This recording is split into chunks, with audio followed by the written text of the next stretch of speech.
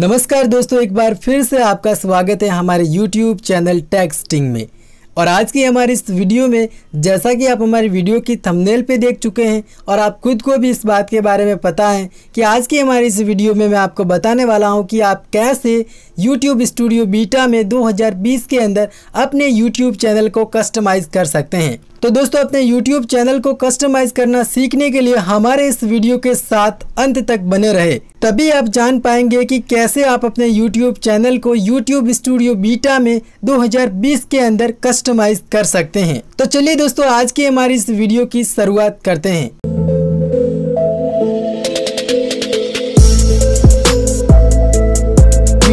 करने से पहले आपसे एक छोटी सी रिक्वेस्ट करना चाहूँगा कि अगर आपने अभी तक हमारे YouTube चैनल को सब्सक्राइब नहीं किया है तो सब्सक्राइब कर ले।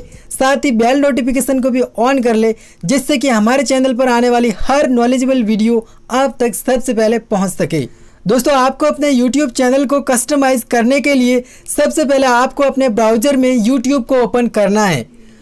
आप स्क्रीन पर देख सकते हैं कि मैंने यहाँ पर अपने क्रोम ब्राउज़र में YouTube को ओपन कर रखा है। और मैं यहाँ पर पहले से ही अपने YouTube चैनल से लॉगिन हूँ। आपको भी अपने YouTube चैनल से YouTube के अंदर लॉगिन कर लेना है। अब दोस्तों, यहाँ पर आपको अपने चैनल के आइकन पर क्लिक करना है। और अब चैनल के आइकन पर क्लिक करने के बाद योर चैनल पर क्लिक करना है।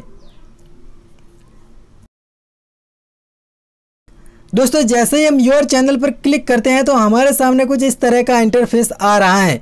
आप देख सकते हैं कि मेरे सामने यहाँ पर कोई भी ऑप्शन नहीं है, सिर्फ़ और सिर्फ़ यहाँ पर होम का ऑप्शन है। और आप ऊपर की तरफ़ देख सकते हैं कि यहाँ पर हमारे सामने कस्टमाइज चैनल और यूट्यूब स्टूडियो का ऑप्शन दिया हुआ है।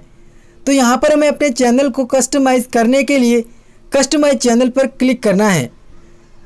तो यहाँ पर आप देख सकते हैं कि हमने यहाँ पर क्लिक कर दिया है कस्टमाइज चैनल पर। अब दोस्तों, हमारे सामने कुछ इस तरह का इंटरफेस आ चुका है। अब दोस्तों, यहाँ पर हमें सिंपली सेटिंग के आइकन पे क्लिक करना है।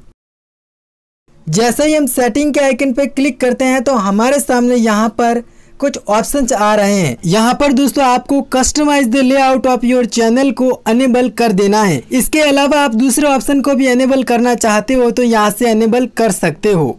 और इन ऑप्शन को इनेबल करने के बाद यहाँ से हमें सेव पे क्लिक कर देना है।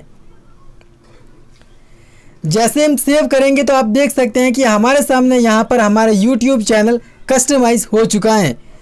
अब यहाँ पर हमारे सामने होम का ऑप्शन भी है, उसके बाद वीडियोज़ का ऑप्शन भी है, और उसके बाद प्लेलिस्ट चैनल डिसीज़न अबाउट और कस्टमाइज करने के बाद जो ऑप्शन आते हैं हमारे चैनल में, वो सभी हमें यहाँ पर मिल चुके हैं। तो दोस्तों, बस यही थी आज की हमारी वीडियो आशा करता हूँ कि आपको पसंद आई होगी। मिलते हैं अगले वीडियो में तब तक के लिए आपका बहुत बहुत धन्यवाद।